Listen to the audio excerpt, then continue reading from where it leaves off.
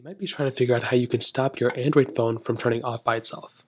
Now, this is, you know, a very interesting situation because there's a couple different ways to do this.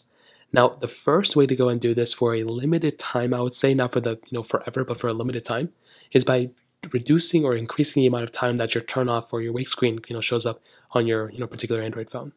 So what you want to do is you want to make your way over to your settings of your Android device, and you want to scroll down into your display settings.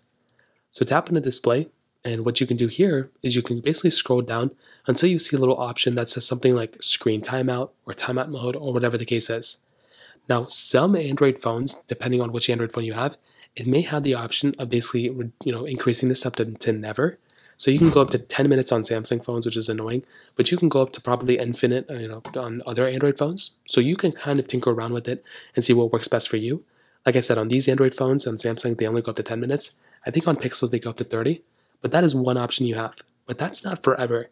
The only way I've ever been able to actually have my Android phone, and there's probably apps you can download and stuff, but for a reasonable way of keeping your Android you know, screen on without having it turn off, is to play a YouTube video in the background.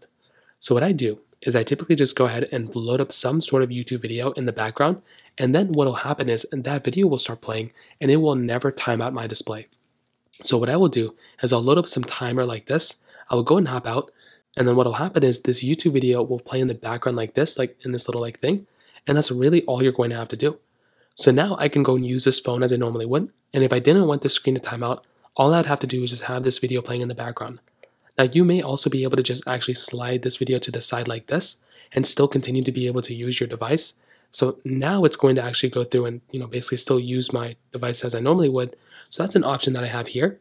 So again, I can just swipe up, I can just swipe this to the side, and my screen still probably will not time out. So that's basically how it's done. If you have any other thoughts or questions, please let me know in the comment section below.